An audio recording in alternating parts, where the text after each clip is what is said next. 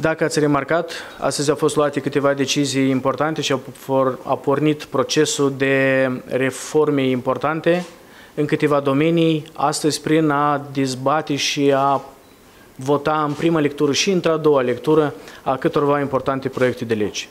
Și prima uh, reformă la care aș vrea să mă refer, care a început astăzi să fie dezbătută și deja am trecut și jumătate de cale prin a vota în prima lectură, este reforma guvernului. Noua lege cu privire la guvern, care schimbă o lege încă aprobată prin uh, timpul Uniunii Sovietice, care prevede noi mecanisme și noi competenții și noi, noi elemente în tot ceea ce înseamnă actul guvernării, de la competențe, funcții, până la uh, dreptul, uh, inclusiv a primului ministru, de a veni cu modificări de structură atunci când consideră că eficiența o impune. Dezbaterile au fost destul de aprinse, au durat mai mult de uh, o oră.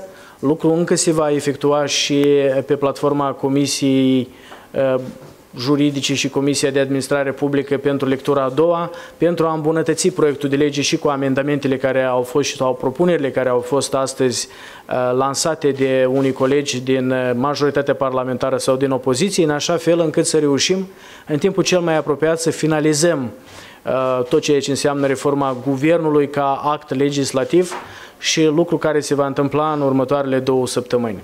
Îmi pun speranțe foarte mari și în, în colegii membri din aceste comisii care sunt responsabile în așa fel încât în vreo două săptămâni de zile să putem finaliza din punct de vedere legislativ reforma guvernului, ca ulterior să avem și implementarea până la sfârșitul anului a tot ceea ce înseamnă optimizarea, scăderea numărului ministerilor, comasarea lor, în așa fel încât să intrăm într-un an nou, anul 2018, deja cu un guvern mai mic din punct de vedere a costurilor, dar mult mai eficient.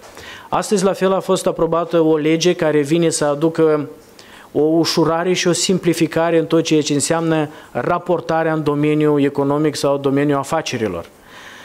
Au fost, am fost sesizați uh, de mediul de afaceri că sunt prea multe rapoarte cu care trebuie să vină lunar, trimestrial sau anual, anual mediul de afaceri. Astăzi, prin aprobarea unui proiect de lege de modificare a actelor normative, cunoscut aici în Parlament ca, ca proiect numărul 353, ce a fost votat în a doua lectură și ultima astăzi, se va simplifica în totalitate tot ceea ce înseamnă procedurile de raportare.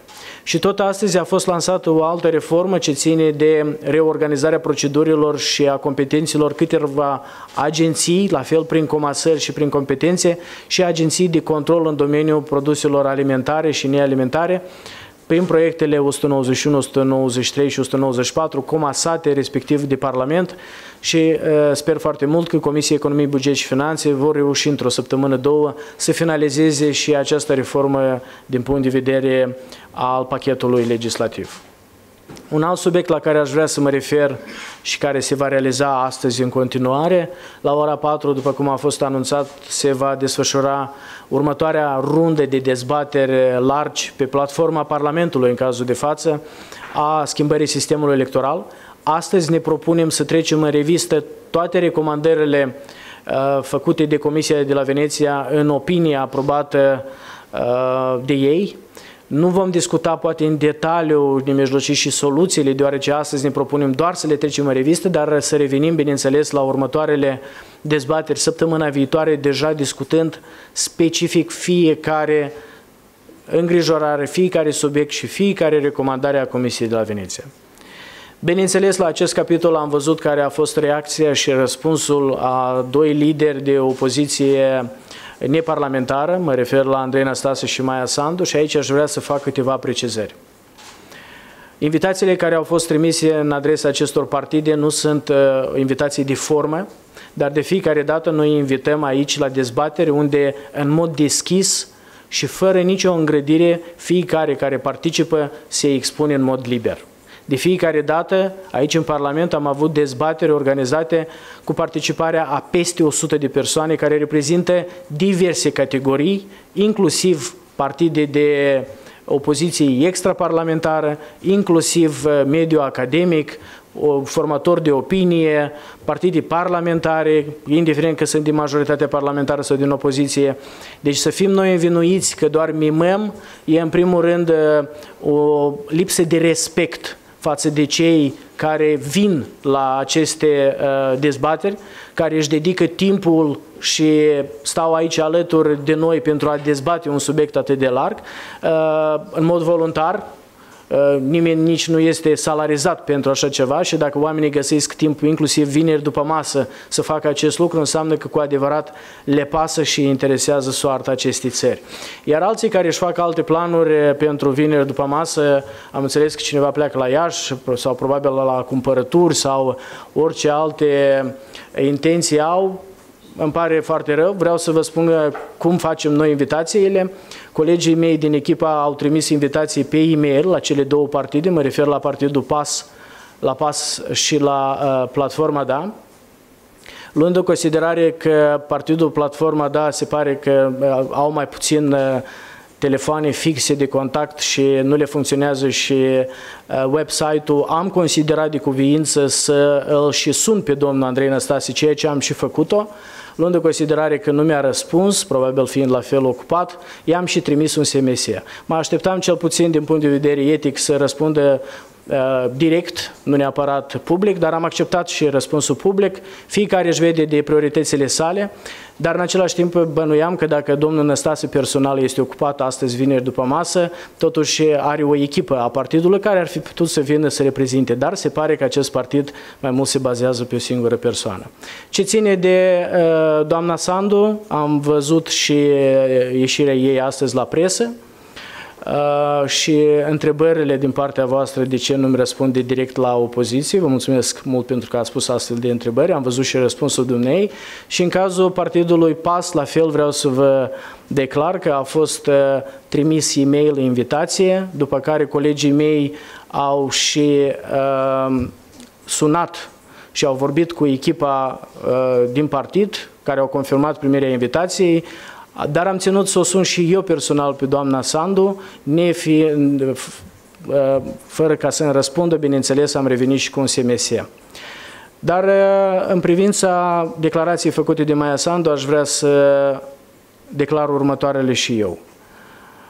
Îmi pare foarte rău că regulile democrației, ceea ce înseamnă în primul rând dezbaterea și expunerea argumentelor, chiar și pro și contra, nu sunt înțelese de toți cei care pretind a fi lideri de opoziție sau lideri de partide sau lideri de echipe.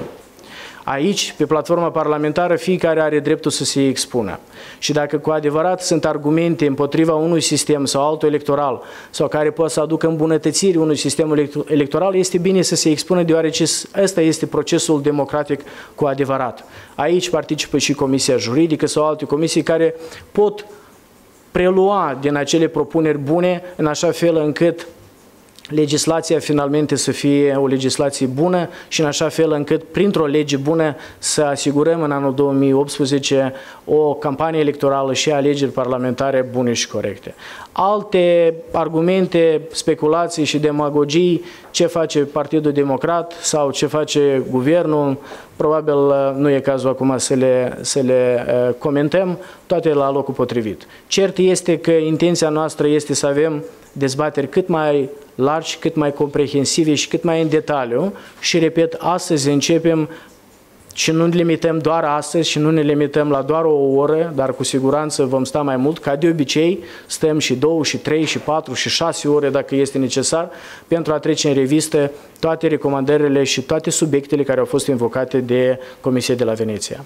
Vă aștept și voi, reprezentanții presei, dacă veți avea interes la aceste dezbatere astăzi, care vor fi cu siguranță transmise și în direct, precum și la altele care urmează săptămâna viitoare. Deja se discutăm fiecare recomandare și fiecare subiect invocat de Comisia de la Veneția, în așa fel încât, în final, să avem un proiect de lege foarte bun care să asigure acele alegeri parlamentare în mod democratic să fie organizate corect, transparent și să avem o clasă politică altfel de clasă politică decât cea actuală. Vă mulțumesc foarte mult și vă sunt la dispoziție pentru a vă răspunde la întrebări. Domnule președinte, atât Andrei Năstase cât și Maia Sandu au spus că partidele pe care le conduc ar putea să nu participe la viitoarele alegeri dacă va fi aprobat sistemul mix, ceea ce ar putea duce uh, la un eventual scenariu în care organizațiile internaționale să nu recunoască alegerile din 2018. Cum priviți o astfel de variantă? Alegerile parlamentare sau orice alte alegeri sunt recunoscute pe plan internațional în funcție de cum sunt organizate, cât de corect sunt organizate, dar nu în funcție de cine participe sau cine refuză să participe. Le aparține decizia partidelor de a participa la alegeri sau nu. Vreau să vă readuc aminte că Partidul Comuniștilor a refuzat să participe la alegerile prezidențiale din 2000 16 de anul trecut a fost o decizie pe care și-au asumat-o, dar din cauza asta alegerile, sau din această cauză alegerile n-au fost considerate uh, ilegale sau au fost considerate ca fiind democrate. Știți vorba aia, fiecare își uh, doarme cum își așterne. De aia fiecare își uh, acționează în funcție de deciziile pe care și le asumă. Dacă aceste partide vor decide să nu participe la alegerile parlamentare, decizia le aparține.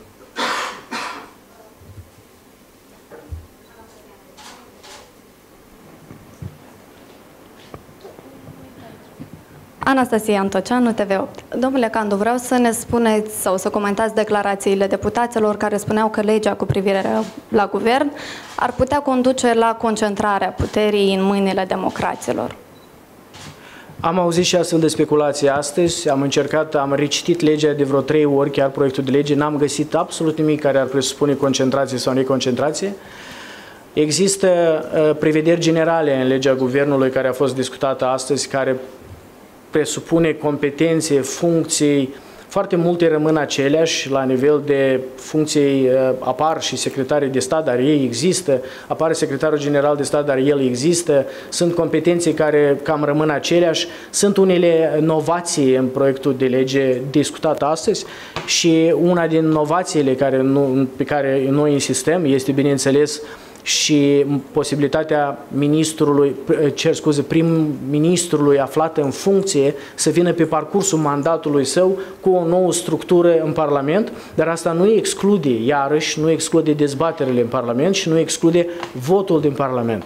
În rest, chiar și controlul parlamentar este asigurat și prin actuala lege și prin viitoarea lege și prin altă legislație. De aceea nu văd cum și de ce Uh, ar exista o concentrare a puterii uh, în privința unui prim-ministru sau în privința unui guvern, iar faptul că s-a discutat astăzi chiar și apariția, despre apariția unui nou mecanism ce înseamnă uh, grupul grupul de control sau uh, controlul primului ministru, uh, lucrul ăsta s-a mai discutat și în precedentele parlamente și corpul de control care, uh, de care s-a vorbit astăzi se află și în alte legislații din alte țări, România, Ungaria, Germania, există corp de control a primului ministru și nu vedem, nu vedem nimic neobișnuit în asta.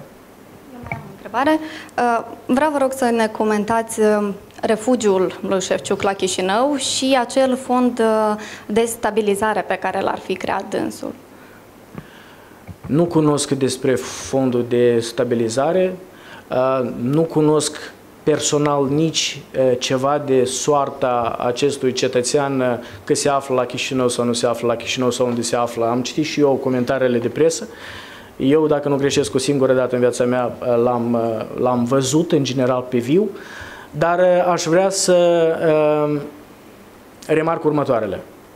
Dacă acest cetățean, domnul Șefciuc, are fapte ilegale săvârșite și din câte eu cunosc, există dosare penale intentate de Procuratura Generală a Republicii Moldova în privința liderilor și nu doar uh, din Transnistria, nu știu dacă în privința lui Șefciuc există sau nu vreo investigație.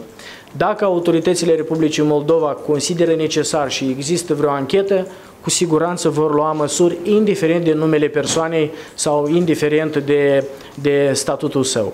De aceea, este domnul Șefciuc în Chișinău, nu este, se ascunde de cineva, este anchetat sau nu este de anchetat, pe moment uh, mi-e greu să vă răspund, sunt, uh, sunt instituțiile, sunt autoritățile competente la acest subiect să vă dea mai multe răspunsuri.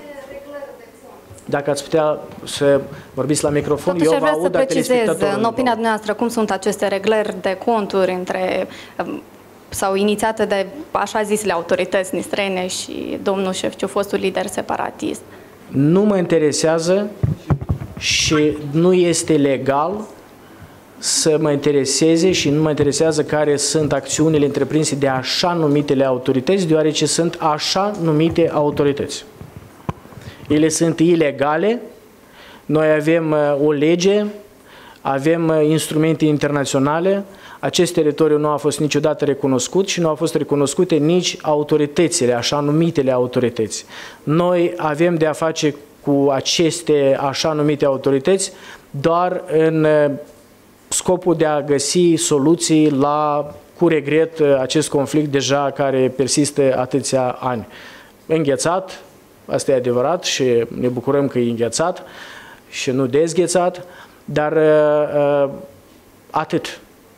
În rest, altă cooperare sau altă recunoștință, nici vorba. Mai puneți și întrebări și ne pare foarte bine că vă specializați mai pe nou și...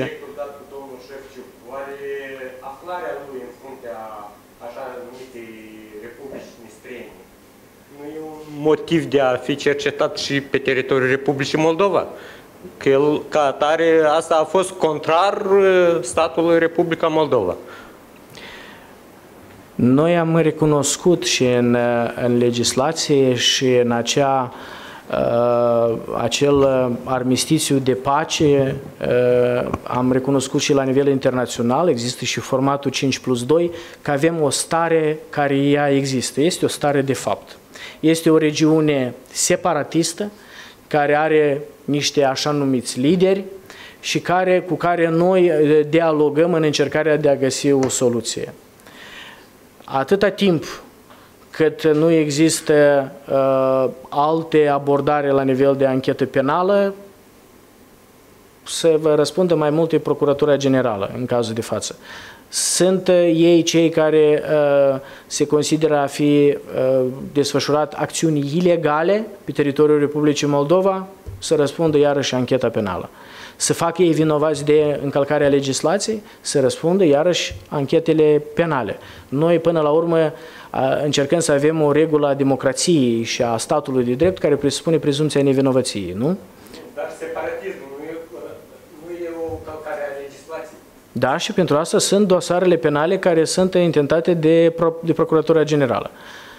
Haideți să lăsăm pe cei care sunt competenți să ne dea răspunsuri și nu să polemizăm uh, noi doar pur și simplu de dorul de a polemiza.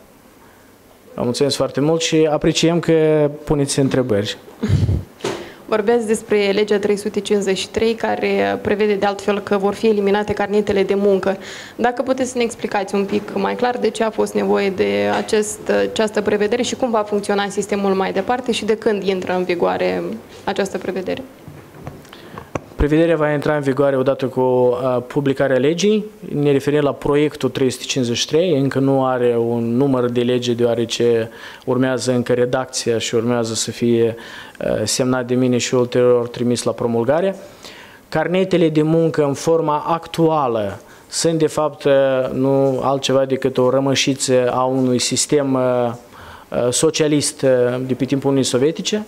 Vedeți că în toată lumea funcționează și bine mersi și economic funcționează uh, sistemele și economia de piață fără carnete de muncă în baza înregistrărilor care există în domeniul public și în baza a unei informații pe care persoana vine pe propria răspundere și le declară atunci când vine cu același CV-ul.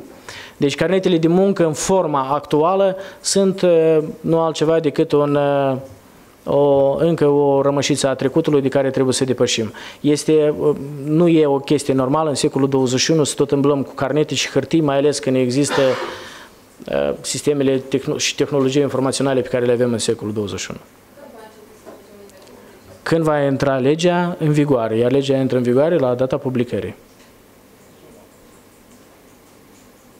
Va exista, bineînțeles, și o perioadă de tranziție. Nu vor, apărea, nu vor dispărea carnetele de muncă peste noapte.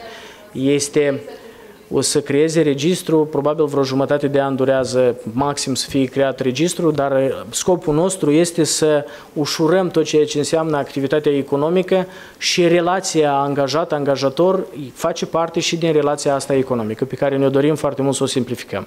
Deci proiectul 353 vom urmări soarta lui, sper foarte mult că domnul Dodon va promulga repede acest proiect de lege și nu va avea aceeași abordare cum are cu foarte multe proiecte care le trimite ultimul timp la revotare și ne face munca mai interesantă, dar în același timp un cost suplimentar pentru stat. Vă mulțumesc și eu. Dacă nu mai sunt întrebări, vă doresc uh, o zi bună în continuare, un bun sfârșit de săptămână și ne revedem săptămâna viitoare. De iar cei interesați astăzi să, să uh, fie alături de noi la dezbateri care încep la ora 4, sunteți bineveniți. Mai bine, succese!